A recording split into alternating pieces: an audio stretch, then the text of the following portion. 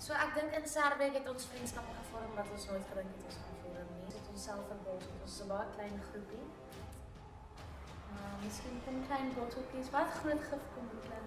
Vir my was dit baie lekker. Ek voel ons het baie gevorder in hierdie week. So dit het baie van ons elkeen beteken en ons konferens is definitief hoër, so ek dink elke meisie voel dat ons nou op die verhoog kan stap, so ons sien baie uit na wat voor. Ja, en ons het mekaar se backs. Ek dink ons het dit gehad voor die tyd. Sy klap net hande.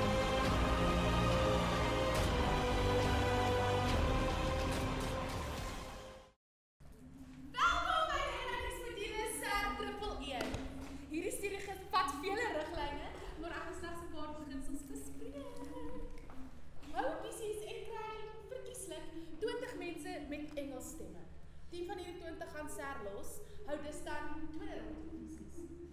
Panic, dream